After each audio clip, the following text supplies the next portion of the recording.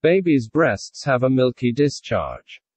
In this video we will talk about neonatal breast swelling and also why breast has white discharge. Follow me.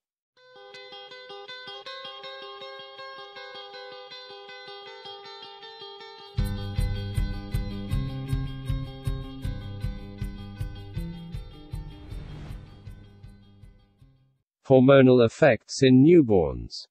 Hormonal effects in newborns occur because in the womb, babies are exposed to many. After birth, the infants are no longer exposed to these hormones. This exposure may cause temporary conditions in a newborn.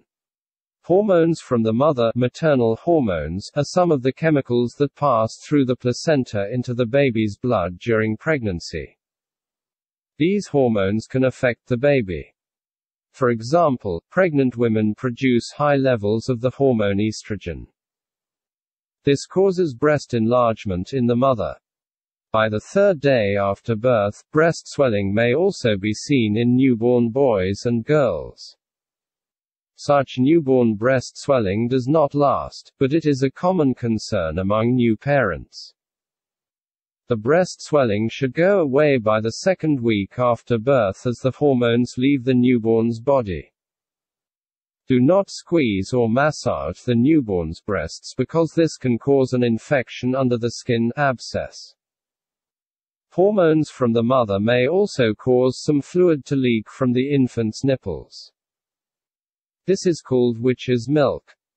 It is common and most often goes away within two weeks. Newborn girls may also have temporary changes in the vaginal area. The skin tissue around the vaginal area, called the labia, may look puffy as a result of estrogen exposure. There may be a white fluid discharge from the vagina. This is called physiologic leukorrhea. There may also be a small amount of bleeding from the vagina. These changes are common and should slowly go away over the first two months of life.